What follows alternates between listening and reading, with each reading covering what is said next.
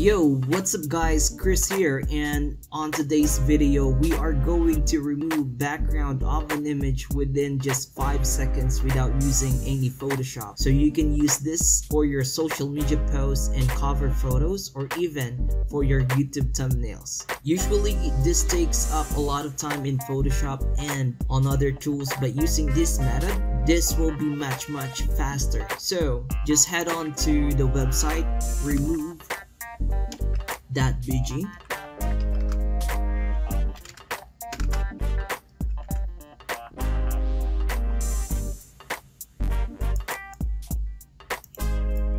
And then upload the image.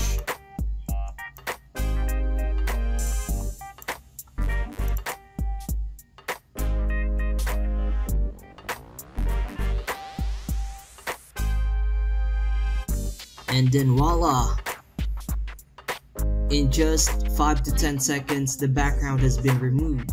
So you can download this image and then uh, upload it to your canva account so that you can use this image for your social media graphics just bear in mind that this image is just around 500 to 500 pixels, so it is quite small. It's not great for printing, however for social media graphics it is already usable. Thank you so much for watching, and once again, my name is Chris. Have a good one.